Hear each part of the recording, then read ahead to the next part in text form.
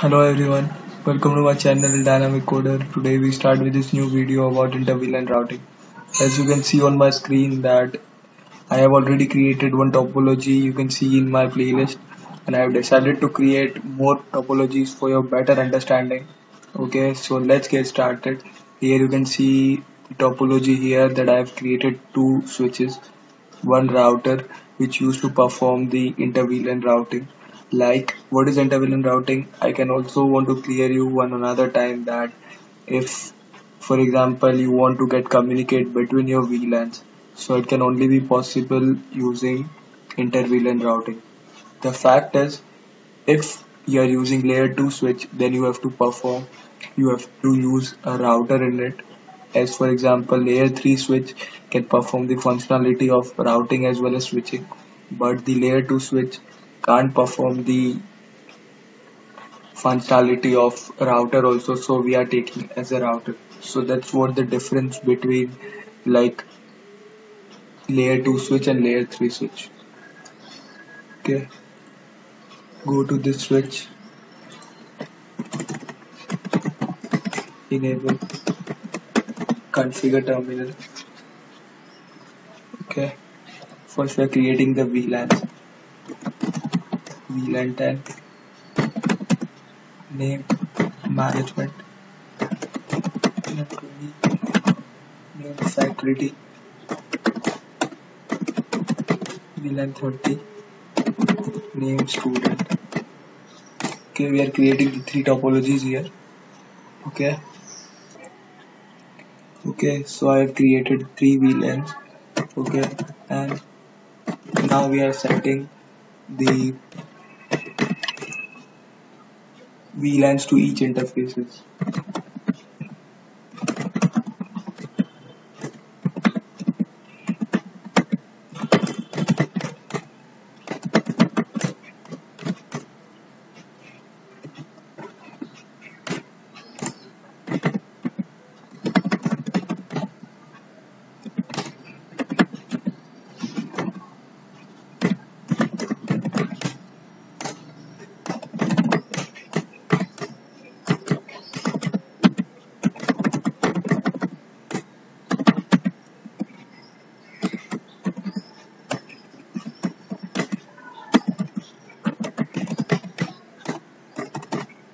Okay so we are we are taking each interfaces and we have applied each VLANs to that interfaces. So that's all the work is done. Now we used to have F04 and F04 between the two switches. We are taking it as trunk link okay. Interface FA0 slash 4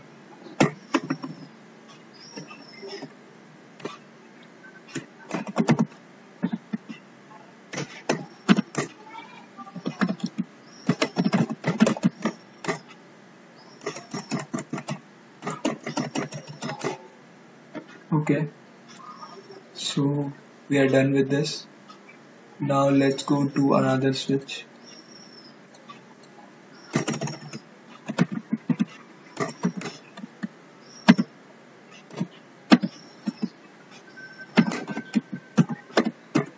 Configure terminal.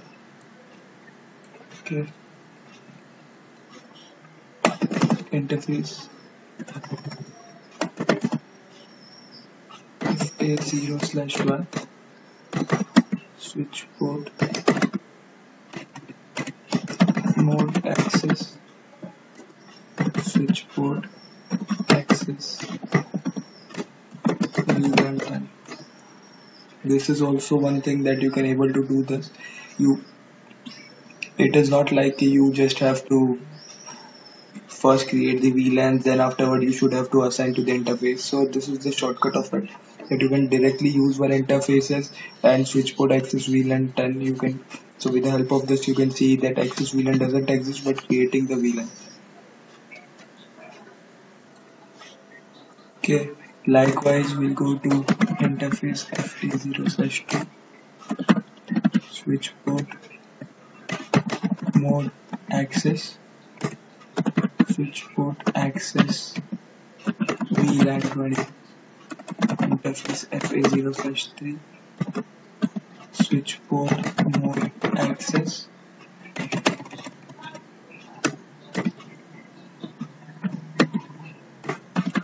Switch port access. VLAN 30 so here we are creating. Now if you can go to show VLAN brief you can see that the interface is assigned to each of the interfaces okay each of the VLANs. 10 20 30 this is how it works. One thing we have forgotten that to use interface FA0 slash 4 switch port mode trunk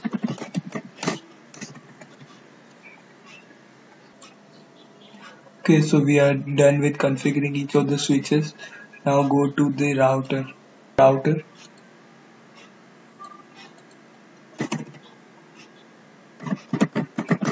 Enable.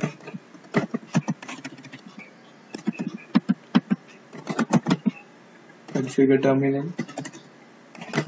Interface.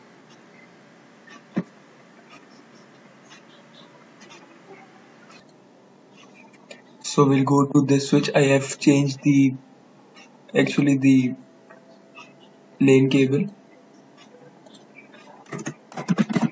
I have used gigabit ethernet in the place of fast ethernet so interface gigabit ethernet 0 slash 1 switch port mode access. Okay. This is the way it's done. Now go to the router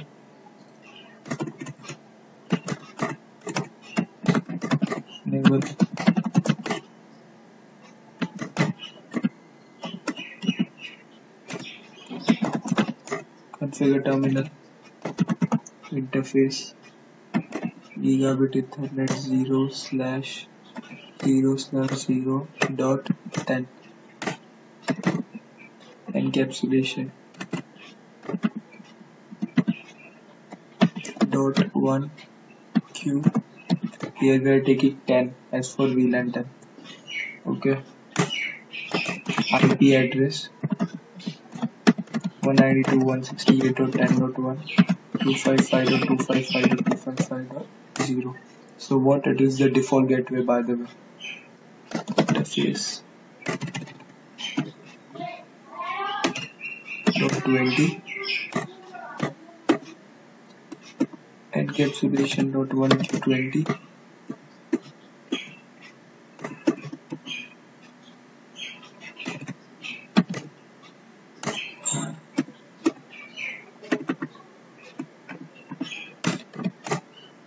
okay again note 30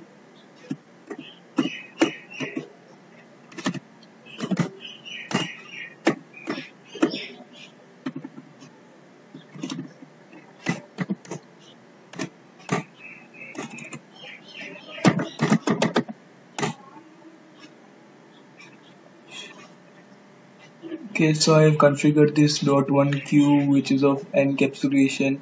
We are using it that on a single link we are creating multiple interfaces. So with the help of which each VLAN can communicate with each other. Yeah you can see on the screen that this links is always in a red that which cannot comes up. It is still down. So the fact is that we have to configure the trunk link on both the sides. So interface gigabit ethernet 0 slash 1 switch port mode trunk. Okay.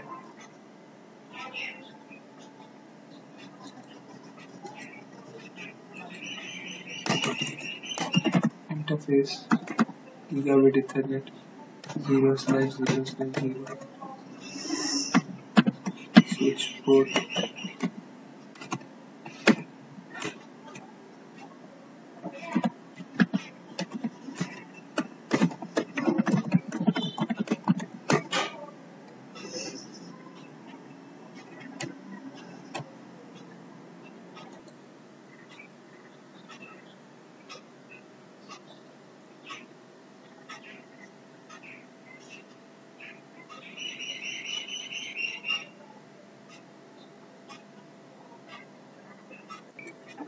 so as you can see on my screen that all the links come up. And now we if just we want to send the ping to another VLAN started working or not just we are checking with us. Go to this PC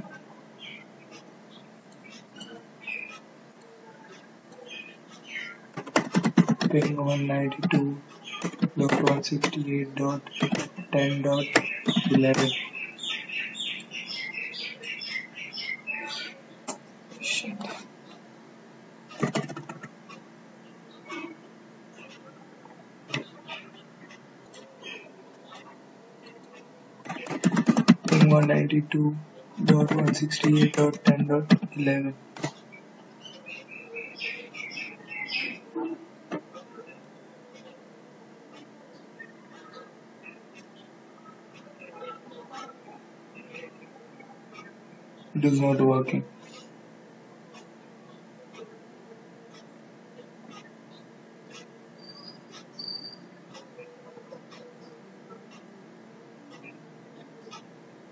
then just go to the PC, go to the switch, use the command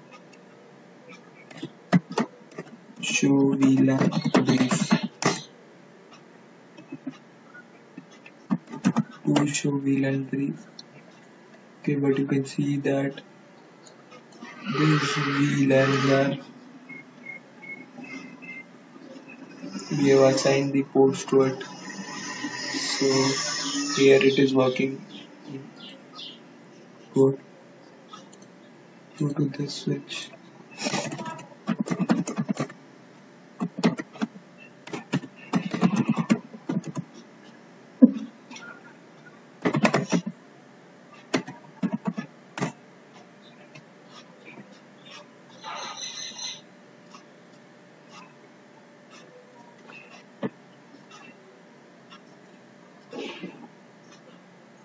interface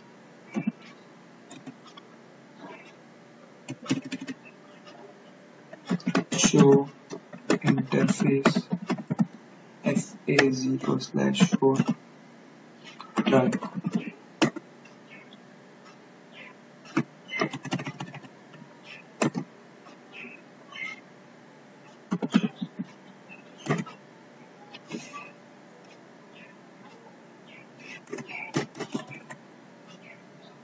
here you will get the entire information about each VLAN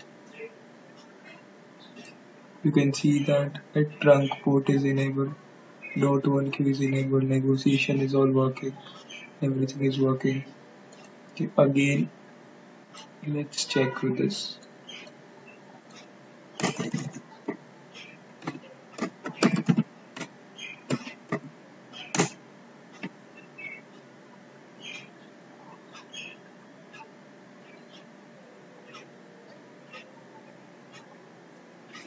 again it is not working. So just go to this desktop and check that you have configured it or not. 192.168.10.11 so these are the small small troubleshooting part that you don't you don't need to worry about. You just need to go on each of the interfaces and check whether what are the mistakes you have done. And after all you will started working with everything will going to work it as it in their way.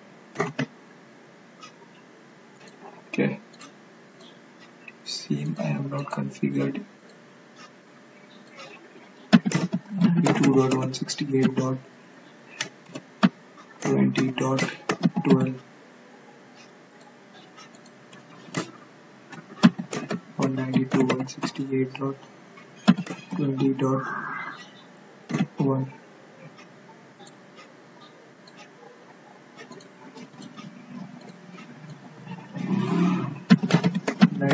sixty-eight dot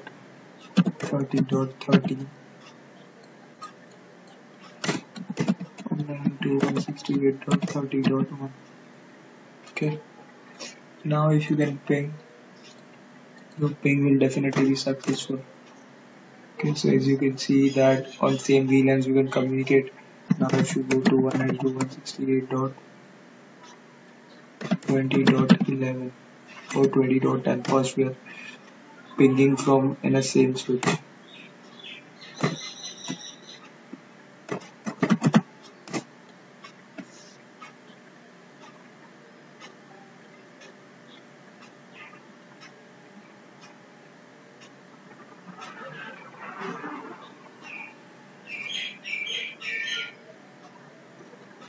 you can see that it is not working okay so it is not working in between the VLANs so just check that whether I've configured the IP addresses.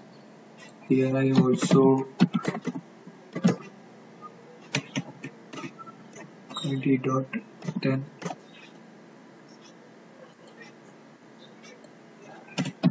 92.168.20.1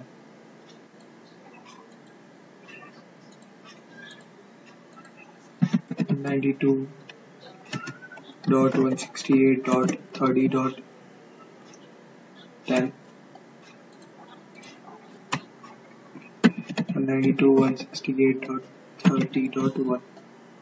okay. So we did each configuration now. You just need to check it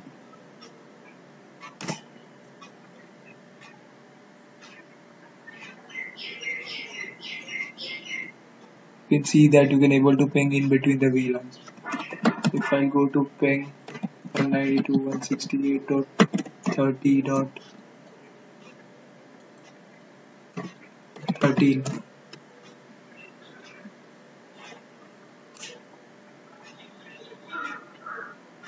okay so the ping is just successful then you can able to communicate with each of the PCs can communicate each between the VLANs. So this is how inter VLAN routing works. As simple as that, you can see the entire video and you're going to know everything about it. Okay, I also have planned to create one of the playlist. By watching one playlist, you can able to run the entire concept of it. Okay, so do just subscribe my channel. You will get to learn more about